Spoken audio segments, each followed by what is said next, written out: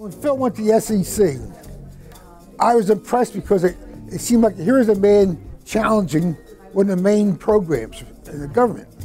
Everybody knows the SEC, and yet nobody really knows anything about it. The fact that he did confront the SEC is just uh, an amazing, incredible thing. And gutsy is such a great word. Gutsy is a very great word for, for what he did. Well, I, I would have thought when Phil went to the SEC that he might have gotten 10 minutes out of his 15 and not 75. So that surprised me a lot.